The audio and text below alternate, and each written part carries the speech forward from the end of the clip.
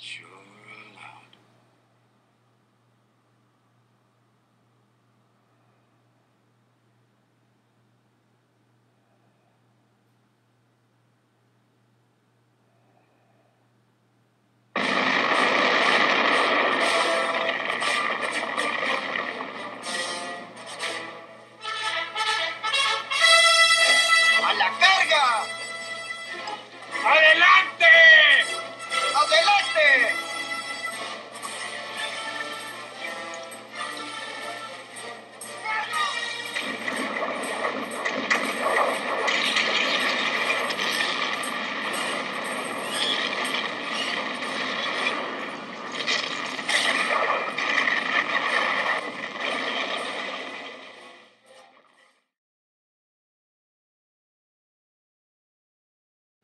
In 1821, Mexico gained independence from Spain.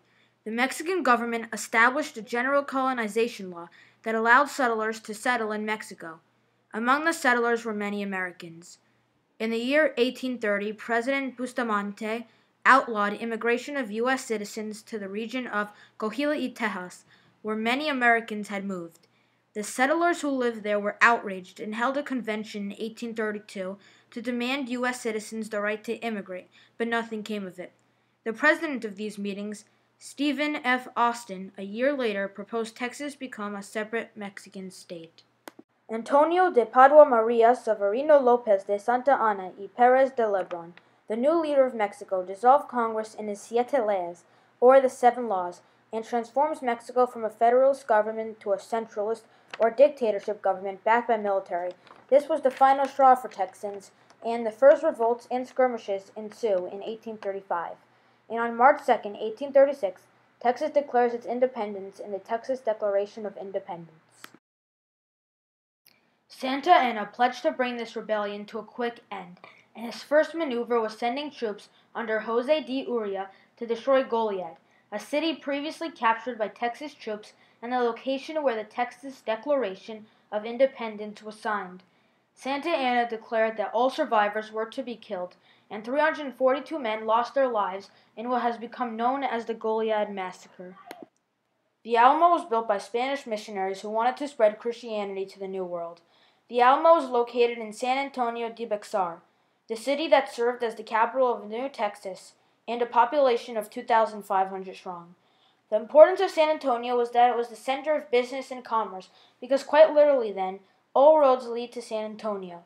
Before the battle, William B. Travis wrote a famous letter titled Victory or Death, in which he exclaimed the Texans will never retreat or surrender, and asked for fellow settlers to pick up their weapons and join the fight. Few did. When Santa Anna arrived with his soldiers on February 23, 1836, the Texans found themselves surrounded by 1,500 Mexicans to their 200. The Mexicans sieged the Alamo for 13 days, and on the final day of the battle, March 6, 1836, the Mexicans attacked three times. The Texans held twice but couldn't hold the last surge.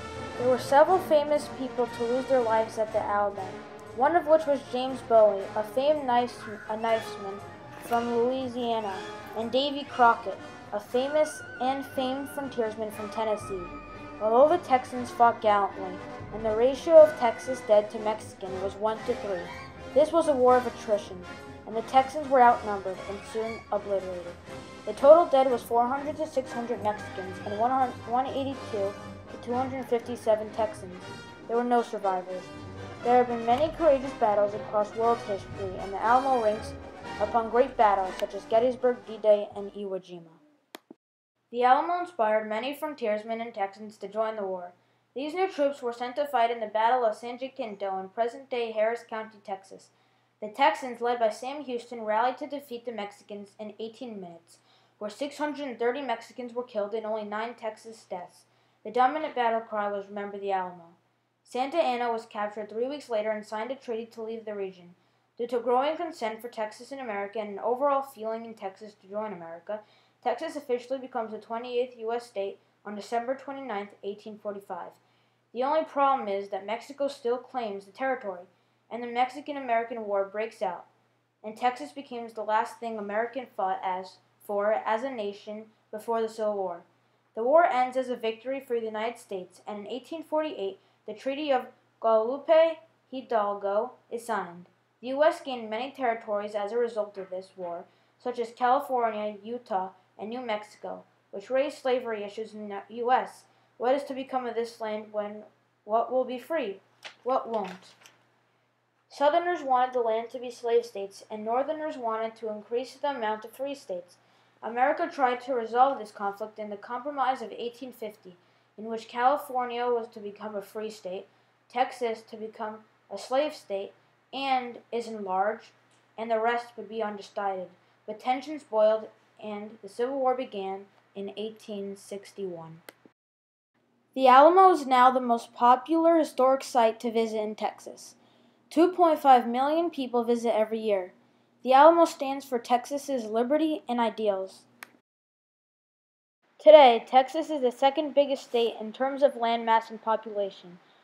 The GDP of Texas $1.6 trillion is equivalent to that of Spain and Mexico.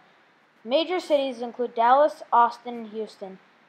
While their primary exports are oil and cotton, Texas is also home to other businesses with the likes of Dell, AT&T, and GameStop. And think about how all of this is a result of the Alamo, a momentous event which shaped the U.S. for generations, and whose influence can still be felt to this day.